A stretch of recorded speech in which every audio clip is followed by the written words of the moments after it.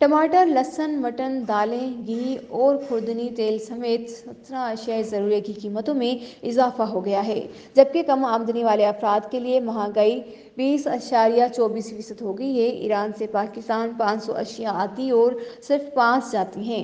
तजारती अदम तोज़ुन का इंकशाफ वफाकी इदारे शुमारियात के जारी करदा हफ्तावार रिपोर्ट में बताया गया है कि एक हफ़्ते में महँगाई की शरह ज़ीरो अशारिया ग्यारह फ़ीसद कम होकर अठारह फ़ीसद बासठ फ़ीसद हो गई है।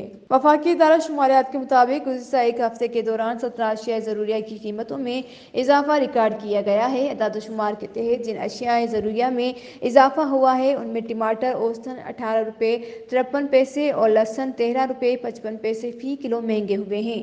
वफाकी इदारा शुमारिया के मुताबिक मटन की कीमत में दो रुपये पैंतालीस पैसे फ़ी किलो, दाल चना एक सौ एक अशारिया बयानबे रुपये और दाल माश की कीमत में दो अशारिया पचहत्तर रुपये फ़ी किलो का इजाफा हुआ है, जबकि दाल मसूर एक अशारिया चौवन रुपये और दाल मूंग की कीमत में ज़ीरो अशारिया अड़सठ पैसे का इजाफा रिकॉर्ड किया गया है। चिकन, सब्ज़ियाँ, दालें और चीनी समेत पच्चीस अशिया ज़रूरिया महँगी हो गई हैं।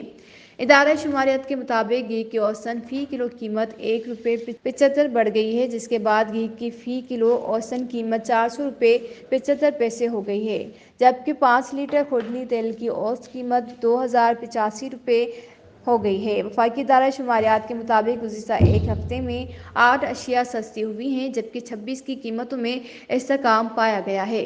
अदाद शुमार के तहत ज़िंदा मुर्गी तीन रुपये बीस पैसे फ़ी किलो और अंडे तीन रुपये तिरासी पैसे फ़ी दर्जन सस्ते हुए हैं, जबकि 200 ग्राम सुरख मिर्च की कीमत में पच्चीस रुपये पचासी पैसे कमी हुई है।